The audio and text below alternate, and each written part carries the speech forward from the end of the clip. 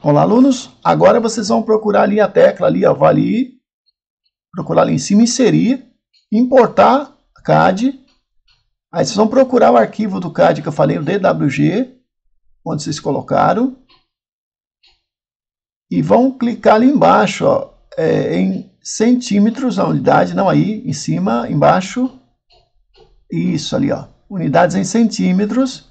E depois vão fazer manual centro. Manual centro ali, ó e vão dar um abrir. Aí você vai posicionar o teu desenho ali. Aí você vai colocar um alfinete em cima dele. Tem um alfinetezinho ali em cima. Ó.